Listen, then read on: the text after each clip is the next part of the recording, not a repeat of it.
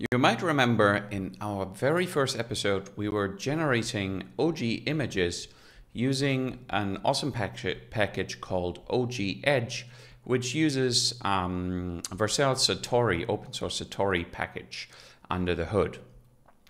Now, in some cases, this is really great um, because it is a lot faster and a lot, lighter for you know generating um, open graph images, for example. But you know, sometimes we actually need to take a screenshot, for example, of a third-party website, and we want to do that. Um, serverless, you might have um, been running into issues with that before, uh, because when you're using Puppeteer, you might be, um, you know, running out of space in your functions and all of that. So there is a really handy solution for that uh, and we'll want to look at that now. So we have an example here using um, Puppeteer in combination with a really cool service called browserless.io. So browserless is a service that we can use to use WebSockets to basically connect to the browser and we don't need to run it ourselves. And then we can just hook Puppeteer up to um, browserless and do our screenshots on the fly, on the edge, uh, fully serverless. So that is really, really neat. Let's do exactly that. So we'll go ahead and we'll create a new function. So in our um, Supabase project, if you don't have a Supabase project yet, um, you know, just run Supabase init to initialize your Supabase project. And then you can say Supabase functions new. And we'll just say uh, screenshot. So we're cr just creating a new function here called um, screenshot. Um, and then what we can do is um, maybe let's just copy out uh, all of this code and then we'll have a look at what is happening there. Um, exactly. So first of all, we'll need the Puppeteer um, dependency. So we'll need to add that to our import map um, .json file. We can look at our um, functions examples. We also have uh, an import map in there. So that's quite similar if you're familiar with Node, kind of the package.json, uh, but rather than installing the dependencies kind of locally, um, we're actually just pulling them down at runtime. So here we'll need this one, the Puppeteer um, dependency.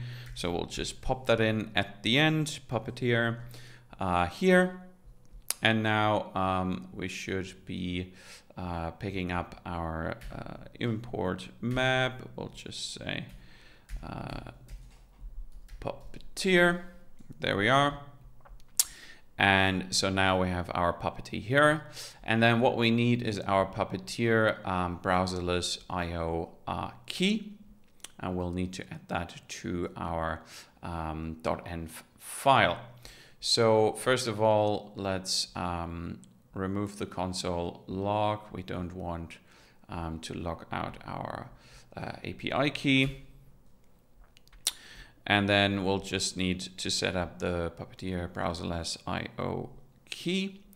Uh, and so we can go into our browserless account and we can just copy out the API key from there.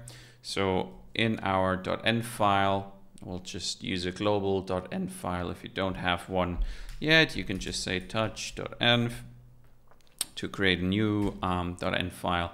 And then in that .env uh, Puppeteer browserless IO key, and we'll just copy that key over. And so now we can use that in our function.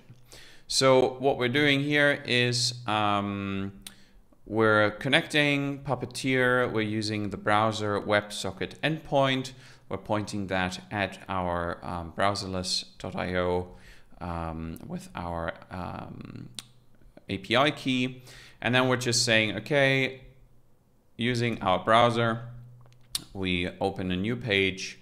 We want to um, navigate. So we can actually here just get the URL. Um, we can put something in there that we want to screenshot.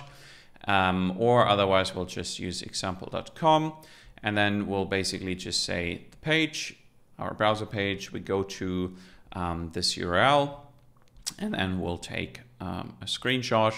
And once we have the screenshot, so here this uh, page screenshot will um, return uh, our uh, buffer response, and then we can create our response of content type image uh, PNG uh, feeding in the buffer here.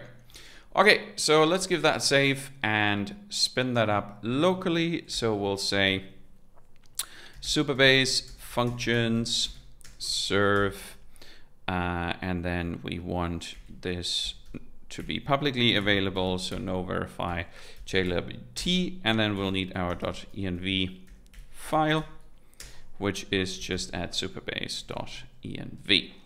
So now we're serving our functions. Um, we called it screenshot, so we can go uh, to our localhost. Um, here we had our open graphic sample, so we'll just go screenshot now. We don't have um, any URL here. And the first time we're running this, um, we're actually pulling down all the dependencies. Um, so it might take a little while. But so now we can see we got our example.com domain. Um, maybe what we can do now is, you know, the Twitter uh, API has gotten more and more expensive. So maybe what we can do is we can just take a nice screenshot of um, our tweet. So that's a service that, you know, nowadays might come in handy. So we can just say URL equals um, our Twitter URL. And so we're just picking that up from the URL and then um, taking a little screenshot from the browser. And so now, now we have an issue that um, Twitter hasn't loaded yet. Um, but what we can actually do is uh, we'll just go to the documentation. We'll just look at the screenshot here. Um, there are some options. I believe what we can do is and then I think we can do uh, something like this, wait until network idle. So let's see, this is uh, in the goto, I believe. So goto takes a string and some options. And so we can say wait until, uh, I believe, network idle 2. So let's give that a try. Um, give that a save and go back to our screenshot and see if then um, we're able to capture the entire content. Yeah, um, slightly better. So now we have at least um, kind of the, the text here. Uh, we're missing the image still, so not entirely sure what's happening there. But you know, if you have an idea, do put it down in um, the comments. But yes, anyway, so this is how easily you can uh, get started taking screenshots on the web um, using Puppeteer and Browserless with Supabase Edge functions. Thanks for tuning in and see you next time.